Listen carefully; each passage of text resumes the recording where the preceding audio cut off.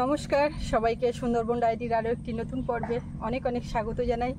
আজকে পর্বটা একটু সকাল থেকেই শুরু করছি, এখন সকালবেলা বাড়ির কাজকর্ম আছে। আর কদিন ধরে সৌরভের চুল কাটবো কাটবো করে করা হয় না, কাটা হয় না, সময়ই হচ্ছে না। তো আজকে ওর স্কুল যাওয়ার আগে চুলটাও কেটে দেবো। আরও অনেক কাজ আছে, একের পর এক করতে থাকব। আর আজকে সারাটা দিন কি করছি না করছি আপনারা সম্পূর্ণ পর্বটার সঙ্গে থাকুন। আশা রাখছি ভালো লাগবে। আর গতকাল সুন্দরবন ডায়েরিতে কোনো ভিডিও আপলোড করতে পারিনি। তার কারণ হচ্ছে আমরা সত্যি খুব ক্লান্ত ছিলাম, ভিডিও শ্যুট করতেই পারিনি। যে কারণে আপলোড হয়নি। পুরানো একটি ভিডিও কমিউনিটি পোস্টে দিয়েছিল। তো অনেকেই আপনারা ফোন করছেন হোয়াটসঅ্যাপ করছেন, এমনকি সকালবেলা ঘুমিয়ে আছি, কলকাতা থেকে একজন কাকাবাবু ফোন করেছেন, করেই আমাকে ঘুমটা ভাঙিয়েছেন। উনি বলছেন, মা তুমি কালকে কি ভিডিও দাওনি? আমি তো পাইনি দেখতে। এবারে সেই ওনার ফোন পেয়েই ঘুমটা ভাঙলো। অনেকেই মিস করেছেন যে ভিডিও আসলো না কেন। আবার অনেকে একটা খারাপ কিছু ভাবছেন যে আমরা ঠিক আছি কিনা। ওটাই উনি ফোন করেছেন যে, তোমরা ঠিক আছো তো? তো আমরা ঠিক আছি, একটুখানি সামাল দেওয়ার জন্য ভিডিওটা আর দিইনি। আর তার থেকে বড় কথা, কোনো ক্রমে একটা ভিডিও শ্যুট করলেও সেটাকে এডিট করে আপলোড করার যে সময়, আর ও কদিন ধরে বাজারের দিকে বেরোতে পারে না। এবার বাড়িতে আটকে আছে, বাইরের কোনো কাজকর্মও সেইভাবে দেখতে পাচ্ছে না। ওই জন্য কালকে ও একটু বাজারের দিকে গেছিল বা এদিক ওদিক যে দরকারগুলো ছিল সেগুলো মেটালো। এই হচ্ছে কারণ, অসুবিধা নেই। আর আমাদের এখন ভরা কটাল শুরু হয়ে গেছে, নদীতে কিন্তু ভরা জোয়ার। নদী একদম কানায় কানায় পরিপূর্ণ। আর এই নদীতে জোয়ার, এই জোয়ারের সময় সবাই জাল ফেলছে। আমরাও ব্যবস্থা করছি। দেখা যাক কি হয়। আর আজকে সম্পূর্ণ পর্বটা আপনারা সঙ্গে থাকুন, দেখতে থাকুন। এখন যাই দেখি বাড়ির দিকে সৌরভ পড়ছে ওকে এখন তুলবো, তুলে সেখান থেকে কালকেও চুল কাটাবো কাটাবো। স্কুলে টাইম হয়ে যাবে, এবারে সময় হবে না বলে ওইভাবে চলে গেছে। শেষমেশ আজকে সৌরভের চুলে হাত দিলাম। সময়ই পাচ্ছি না কদিন ধরে। আর অনেকটাই চুল হয়ে গেছে। বাচ্চা মানুষ, এক ঝাঁক চুল মাথায়। অতিরিক্ত বড় দেখাচ্ছে। বড় তো দেখাচ্ছে আর তারপরে ওর অস্বস্তিও হচ্ছে। শুধু বলবে বলছে চুলটা কেটে দিলে না মা? কেটে দিলে না? এখন আমি আজকেই ব্যবস্থা করছি। আর এই যে চুল কাটার মেশিন সেটা কিন্তু কোলে নিয়ে বসে আছে। ওর একটা দাঁত পরিয়ে দিচ্ছিলাম কিন্তু ওতে অনেকটা ইয়ে হয়ে গেছে একটা জায়গায় এই যে। দাঁতের নাম্বার বুঝতে পারোনি। না এবারে আমি বলি ও আমার দরকার নেই আমি এই দিয়েই দিয়ে দিচ্ছি। না আমি বাবা প্রথমে যে দাঁতটা দিয়ে কেটে দিয়েছিলাম ওই দাঁতটা দিয়ে কেটেছি আবার ওই দাঁত দিয়ে দিয়েছিলে? আমাদের চুল বাবু কেটে দেয় আমার বাবুর বাবুকে বাবুর মা কেটে দেয়। আমাদের সেলুনে যেতে লাগে না। পিসি কেটে দেয়। হ্যাঁ? মাকে বড় পিসি কেটে দেয়। বড় পিসি আর কই দিচ্ছে? বড় পিসি এখন বিয়ে হয়ে গেছে চন্দননগরে সংসার করছে সে কি করে চুল কাটবে? আগে দিত। আগে দিতে। তো মা কই চুল কাটে? একটুখানি চুলের আগা কাটে। তো অনেক দিন কাটা হয় না। আমি, আমার সঙ্গে, আমি একবার কেটে দিয়েছিলাম আমরা নিজেরা নিজেরা বাড়ির মধ্যে সময় সময় চুলটা কেটে দিই। সেলুনে যাওয়া হয় না। ওর বাবা তো একদমই সেলুনে যাওয়া পছন্দ করে না বা নিজেও যায় না। আর ছেলেকেও এখনও পর্যন্ত কোনোদিন সেলুন থেকে চুল কাটানো হয়নি বা ও নিজেও কাটে না। আর আমিও আজ পর্যন্ত কোনোদিন পার্লারে ঢুকি সৌরভকে চুল কাটিয়ে, চান টান করিয়ে, খাইয়ে ও স্কুলে পাঠিয়ে দিলাম, চলে গেছে। আর আমি এদিকে রাস্তা রাস্তা সব পরিষ্কার করে, আর নিজেরাও খাওয়া দাওয়া করলাম, বাসনপত্র ধুয়ে এখন এই জাল নিয়ে যাচ্ছি। ও মাথাতে ডাইনিংয়ের ওখানে রেখে জালটাকে একটু মেরামত করব। সেই আপনাদেরকে বলেছিলাম যে নতুন জাল একটা নেওয়ার ব্যবস্থা হয়েছে, তো সেখানে এখনও একটু কাজ বাকি আছে। আজকে একজনকে পাঠিয়েছিলাম সেই জাল নিয়ে আসার জন্য। জালটা আমাদের দয়াপুরের মধ্যে না, সেটা সেই শান্তি গেছি সেইখান থেকে। তো একটু বাকি আছে, শনিবার দিন জাল দেবে। আর এখন তো ভরা কোটাল, কতটা জল উঠছে দেখতে পাচ্ছেন? দিনের বেলায় দিনের জোয়ারে যেমন, রাতের জোয়ারে তেমন মাছ ধরছে সব। তো আমি ভাবলাম যে আমার এই যে জাল আছে, এইটাকে একটু ঠিকঠাক করে যা হয় হতে লাগুক মানে এখনও দু তিন দিন পরে জাল পেতে মানে গোনো ওদিকে শেষ হয়ে যাচ্ছে। ওই জন্য এটা এতে সুতো আছে আর একটা সূচ, আর জালটা নিয়ে রেডি করব। এর আগের গুণেও প্রচুর মাছ পেয়েছে এই এগোনেও এই দু তিন দিন শুরু হয়েছে। তা মাছ ধরে সব খেয়ে পাচ্ছে না বিক্রি করতে হচ্ছে মানে এত পরিমাণে হচ্ছে। দিনের বেলা বড় বড় চিংড়ি। বড় চাওড়া চিংড়ি এক দেড় কেজি করে পাওয়াটা কোনো ব্যাপার না। দেয়ালে গিয়ে বাধাপ্রাপ্ত হচ্ছে।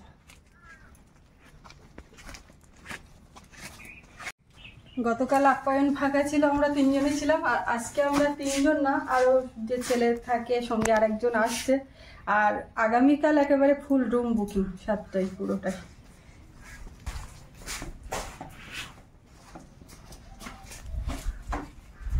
আমার এই জালটা কিন্তু ভালো জাল। এই জালটা আমি কিন্তু বিয়ের আগের থেকে এই জালটা কেমন ফেলতাম। সেই জাল। এখনও আমার সঙ্গে। উড়িষ্যাতে গেছিলাম এই জাল সঙ্গে গেছিল। না না এই জাল না। এই জাল না? ওখানে আলাদা জাল কিনেছিলাম। সেটা বাড়িয়ে আনা গেছিল? সেটা পিয়ালি থেকে নিয়ে আসা হয়। ছিঁড়ে গেছিল। এ আমার সঙ্গে মোটামুটি আছে অনেক দিন যাবত এই আছে থাকবে। জাল ভালো শুধু আমরা সেলাইটা করতে পারি না। করতে পারি না বলে এই সমস্ত জাল ব্যবহার করতে করতে তো এখানে একটু ছিঁড়ে যায় ওখানে একটু ছিঁড়ে যায় তখন ছেঁড়া তোলার ব্যাপার থাকে। এই যে ঝুলছে না খাল যেখানটা আর কি মাছ এইভাবে ঢুকবে সেই জায়গাগুলো ঝুলছে এবার আমরা তো পারি না। আর এখনও আমি পারি না তবে জাস্ট একটুখানি জোড়াতালি দেওয়ার মতো চেষ্টা করছি। কি যে করছ?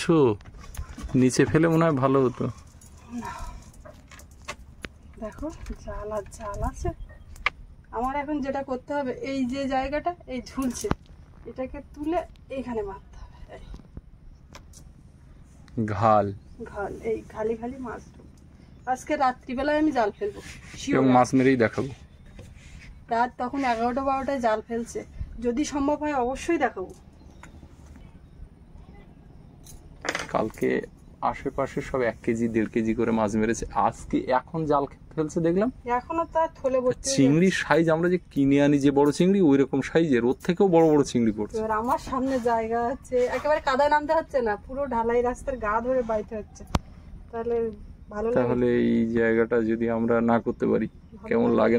সুস্মিতার সামনে দিয়ে লোকে কেজি কেজি মাছ মেরে নিয়ে যাচ্ছে। আর বসে বসে শুধু হাফ ইত্তেস করছে। বলছে জালটা এলো না এখনও।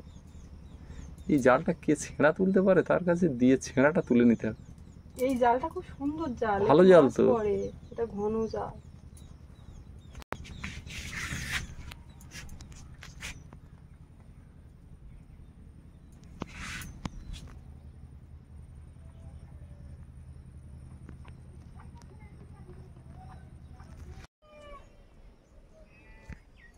জাল নতুন মতো দেখাচ্ছে না? হ্যাঁ হ্যাঁ একদম নতুন। ও কিন্তু আমাকে মাঝখানে হেল্প করেছে না হলে একার দ্বারা সম্ভব না। অনেকক্ষণ জালের এই ঘালগুলো পুরো ঝুলে গেছে। এগুলো সব ঝুলে ছিল এগুলো সব বাঁধলাম। আবার ছেঁড়া তোলা হচ্ছে। ছেঁড়া তোলা হচ্ছে একেবারে বাংলা সেলাই। জাল যে ছেঁড়া তোলার ব্যাপার সেটা না। পুরো জামা কাপড় সেলাইয়ের মতো। নতুন জাল আসলো না যখন পুরানো জালই চলুক। জাল তো ঠিক করলাম। এখন যাচ্ছি জাল ফেলার আগে। সবাই একটু গুঁড়ো আর ওই আটা এইসব মিক্সড করে আগে দিয়ে রাখে। তাহলে মাছ আসবে তখন জাল ফেলে। তো আমাদের বাড়িতে ছিল, গুঁড়ো টুড়ো ছিল। এবার হাঁস মুরগি সব না থাকার ধরুন গুঁড়ো গুলে গুলে পুকুরে দেওয়া হয়ে গেছে। মানে আর নেই। এখন যাচ্ছি সামনে একবারই সব রেডি করে রাখি রাত্রের জন্য।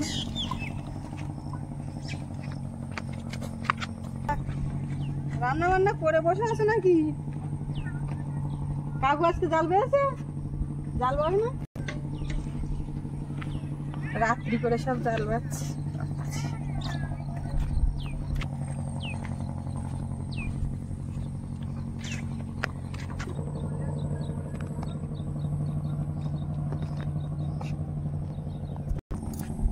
আজকে সকাল থেকে রোদ নেই, কিন্তু একটা গুমোট মতো হয়ে আছে। না রোদ, না মেঘ, না কোনো কিছু যেন একটা ইয়ে অন্ধকার অন্ধকার পরিবেশ। বোঝার উপায় নেই, সকাল না দুপুর না বিকাল। এমন অবস্থা। এদিকে পাটা জাল দেওয়া আছে।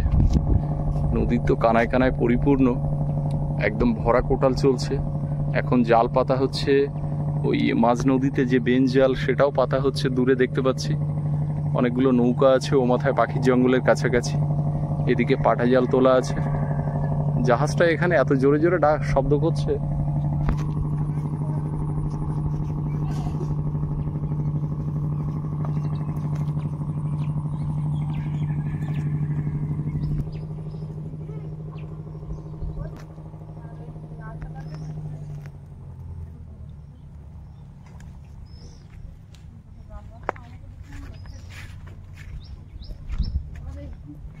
ব্যাপার যা হোক। না না তুই একসাথে খাবি নিয়ে যাও। না না ওই গুঁড়োর কথা বলছি। আমার গুঁড়ো মেপে দাও গুঁড়ো। তোমার আজকে লাগবে কচুর ফুল ছিল। তোমার ভাই কচুর ফুল তুলে থেকে ওঠা মা তুমি হাটে নিয়ে যাও বলে আমি বলে যাও এই শুনতে এসে হাটে যাব হাটে যাবে ঝিঙে এদিকে ওলের ডাক কচুর ফুল। আমারও কচুর ফুল দাও তাহলে এখান থেকে। কচুর ফুল দাও। ওলের হাটে যাচ্ছে? না ওলের ডাক মনে হয় খাওয়ার জন্য এগুলো হ্যাঁ আমরা খাব কচুর ডাক কচুর ফুল। কচুর ফুল তোমার পছন্দ ওলের ডাক আমার পছন্দ। ওই ইয়ে জাল দিকে কাঁকড়া উঠে গেছিল নাকি? হ্যাঁ, তো ও দুটো নৌকো না না হলে তো কাঁকড়া বসাতে পারবে না কাঁকড়া মানে তুলতে গেলে আমার ঘরেও যাচ্ছে গাছ। ফুলগুলো খুব সুন্দর। একদম দেশি কচুর ফুল মানে যে কচুর মুখির কচুর ফুল। ছোলা কত ছোলা কচু। দেশি কচুর আমাকে দাও। দেশি দাও। এই তো তাড়ি বাঁধা। আড়াইশো হুম। পাঁচশো লাগবে।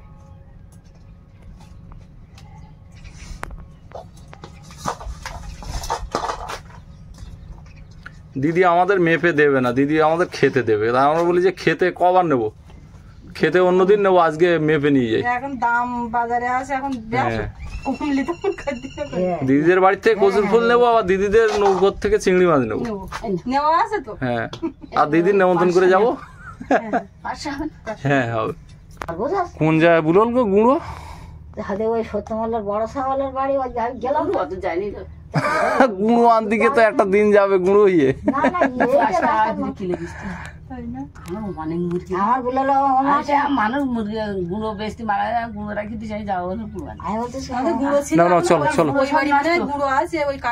জল টল পেয়ে গেছে কই বস্তা নষ্ট হয়ে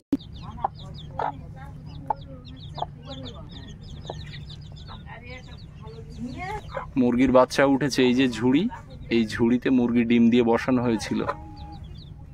বাচ্চা নতুন বাচ্চা এখন ওর মা নিয়ে চড়াচ্ছে।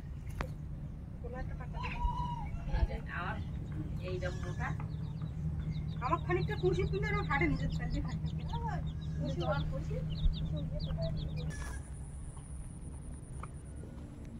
এসছিলাম এক দরকারে।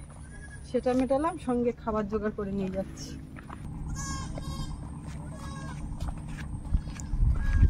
সব রাস্তার উপর দিয়ে ছাগল ভেড়া বাঁধা, এই রাস্তার দুপাশের যা ঘাস আছে, এই খাওয়া। তাছাড়া উপায় নেই। এইগুলো যাচ্ছে। রাত্রির সরঞ্জাম রাত্রি জাল ফেলার জন্য। জাল আজকে ফেলবে আজকে মাছ ধরেই ছাড়বে। অল্প হলেও তো হবে। সবার বেশি হবে আমার কম হলেও তো হবে। হবে।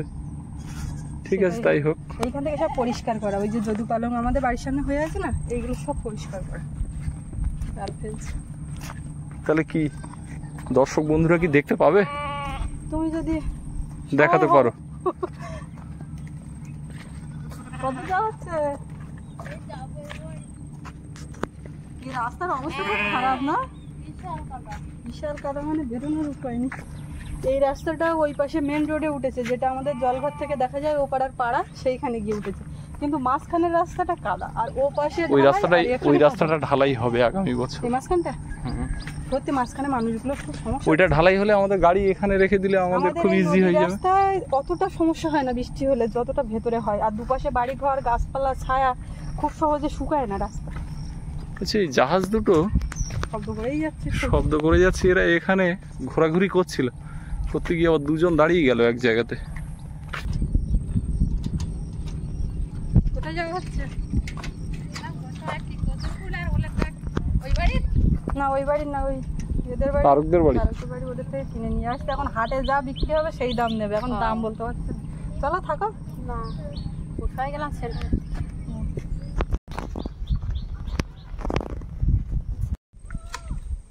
জাল পাওয়ার জন্য ঘাট তৈরি হচ্ছে। জাল কেমন মারা হবে যে জায়গাটুকু সেই জায়গাটুকু ঘাস পরিষ্কার করে দেওয়া হচ্ছে। এই ঘাসের মধ্যে কেমন মারলে মাছ ওঠে না।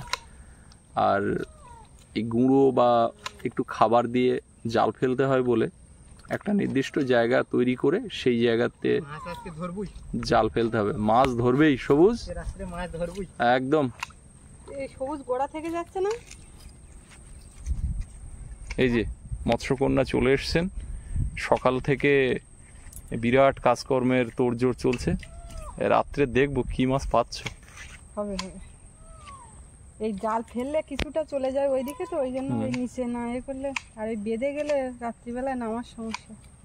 ওই শুধু পরিষ্কার করলে হবে না। এই জোয়ার উঠছে তো এই পর্যন্ত। না না এই পর্যন্ত। ওঠে ওই পর্যন্ত সেই জলে এইখানে হ্যাঁ, উঠছে। হ্যাঁ। তাহলে এই জায়গাটাও স্লিপ হয়ে গেছে। হুম। আগে যে আমরা দুটো ঘাট করে রেখেছিলাম ওই তো আবার উঠেছে সেখান থেকে সেখানেও একটু ক্লিয়ার করতে হবে। এইখান থেকে ওই মাথা পর্যন্ত চার পাঁচটা কেমন ফেলা যায় সেরকম। হুম। একদম ক্লিয়ার করে রাখতে হবে। আর শুধু ঘাট করলে হবে না এখানে আবার চিহ্ন রাখতে হবে এখানে আবার খোঁটা মারতে হবে। বোঝা যাবে না যে আমি কোথায় কেমন ফেলে হ্যাঁ। সবুজ ওই কাঠি পুঁতে দিতে হবে এই যে এই পুকুরগুলো আছে একটা কাঠি থাকবে তার সোজা করে একটা গুঁড়ো দিয়ে আর কেমন ফেলতে হবে। এ উড়কালে উঠতে না। শক্ত না একদম আর ওর গায়ে ধার। ও শোনা এসে গেছে? বলে বাবা আজকে চুল কাটা নিয়ে স্কুলে সবাই কি বলল? ভালো বলেছে? তাহলে তুমি কাঁদছিলে কেন? ওরে কান্না প্রত্যেকবার চুল কাটার পরে ওরে একটা করে কান্না সিন দেখা যাবে।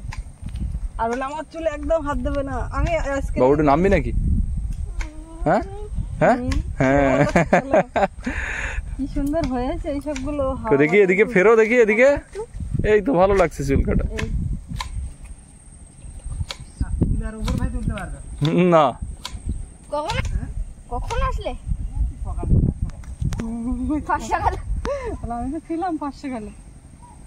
একটু আগে কানায় কানায় জল ছিল। মুহূর্তের ভিতরে জল আবার নেমে গেল।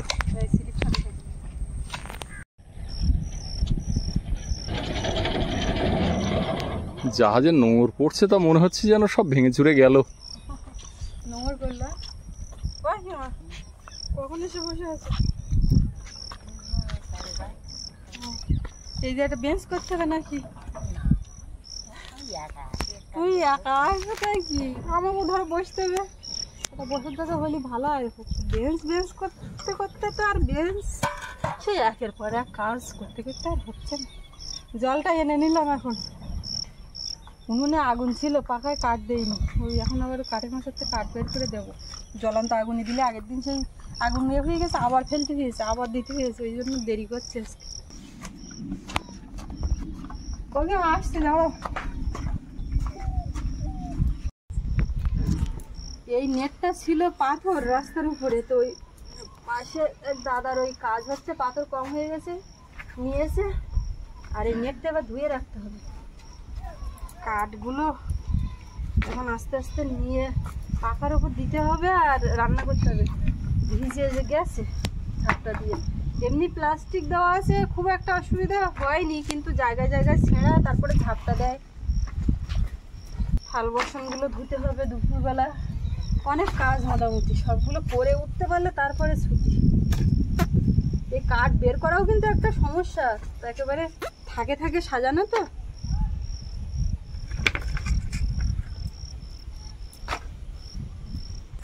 আমার বাবার সঙ্গে হাঁটে যাব।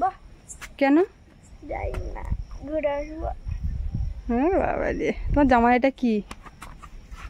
আয়রন ম্যান তাই?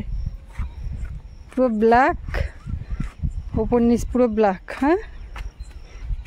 তুমি রেডি হও তোমার মতন করে? তোমার যা কাজকর্ম তুমি সেই দিকে রেডি হও। হাটে যেতে হবে না। হাটে কি? খাবার তো? খাবার এসে যাবে। তুই চিন্তা করো না।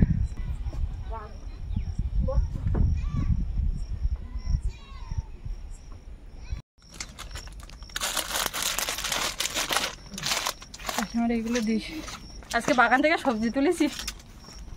পুষি বেগুন ঢ্যাঁড়স এই বেগুন আর এই নিচে হাতে হাতে দিতিনি কেন হাতে হাতে দিলে কি হবে? না দিতিনি বলো।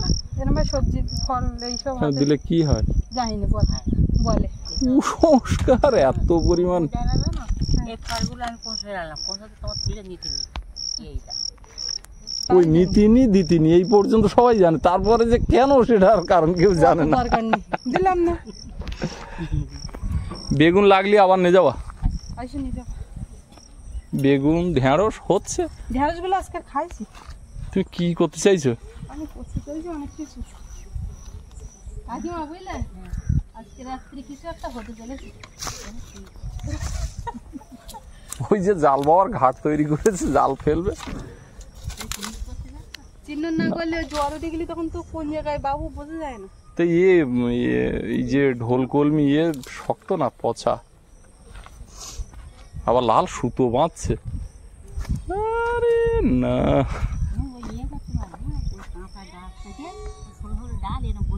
হ্যাঁ। ওই মাথাতে খেয়ে আসছে। পরে নাকি?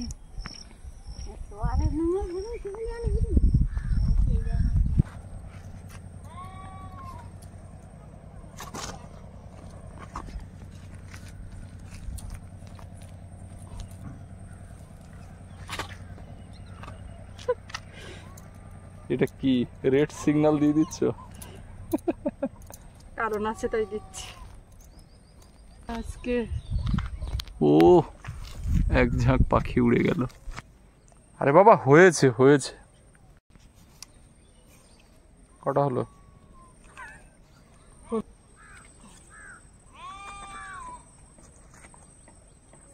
সব এ মাথা ও মাথা পরিষ্কার প্রত্যেকে ঘাট তৈরি করেছে। বাজারে চললাম। বাজার বোধহয় সকলে করা হয়ে গেছে আমরা যাচ্ছি লাস্টে বাজারে ব্যাগ আরেকজন আছে আরও দুজন আছে একজন না দুজন। তো এখন বাজার হাট করতে হবে। লোকজন আছে পরপর যদিও প্যাকেজের বেশি তো নিজেদের খাওয়া দাওয়ার জন্য বাজার করতে হবে। একটু দেরি হয়ে গেল বাজারে যেতে। যাও। তো আমরা বাজারের দিকে যাই। এই যে দুজন তো দাঁড়িয়ে আছে দুটো ব্যাগ নিয়ে ব্যাগ কটা? দুটো তিনটে নিয়েছো? ওভেনটা কোথায়? ওভেন ওভেন কই? ওভেন না এটা হচ্ছে স্টোভের মতো। ওভেন পাওনি? না তো আরে ও জানে না তো ওকে ওদিকে হাট করে মানুষজন ফিরছে। সঙ্গে ছাগল গরু এসে যাচ্ছে। ঝরতে পড়তে কেন? কি পাবো এখন? যা পাবে তাই আর যেতে হবে তো হেঁটে। আরও সময় লাগবে। হ্যাঁ। ওভেন পাওয়া গেছে? হ্যাঁ পেয়েছি। এবার বাজারের দিকে যাই। ও ও ও বুঝতে পারিনি তুমি ভাবছিল ওর মুখটা? ঠিক করলে হয়ে যাবে? এইটা এইটা এইটা আগের দিন ঠিক করেছিল, আবার নষ্ট হয়ে গেছে এখন। এইটা সারাই করে নিয়ে আসে, আর ফ্যানটা নিয়ে আসবে সবুজ। ফ্যান একটা ঠিক করতে দেওয়া আছে, সেটা নিয়ে আসবে। ওই তিনজন যাচ্ছে এখন বাজারে। কি নিয়ে আসবে, দেখা যাক। ও কি মা? তা হাঁটাহাঁটি করো সন্ধ্যা হয়ে যাচ্ছে। জোয়ার উঠবে কখন? এখন সেটাই ব্যাপার। অনেক রাত হবে তো কালকে এমনি সাড়ে দশটা এগারোটার দিকে কালকে বেড়েছে আজকে তার থেকে আরও রাত হবে। দেখা যাক এখন কখন কি হয়। তো আজকে পর্বটা এখানে শেষ করব, আর দীর্ঘ করব না। আর আপনারা আগামীকাল দেখতে পাবেন রাত্রির মাছ ধরা। খুব আইটেম নিয়ে সারাটা দিন চলছে এবং খুব ইচ্ছা, রাত্রিবেলা রাতের জোয়ারে মাছ ধরবো। তো এখন বর্ষা বরিশন কিসে কি হচ্ছে দেখা যাক, যদি মাছ ধরা হয় আপনারা অবশ্যই দেখতে পাবেন। আর আজকে পর্বটা আপনাদের কেমন লাগল সেটা কমেন্টে জানাবেন। আর সবাই ভালো থাকবেন, দেখা হচ্ছে আগামীকাল। আর এতক্ষণ সাথে থাকার জন্য সবাইকে অনেক অনেক ধন্যবাদ।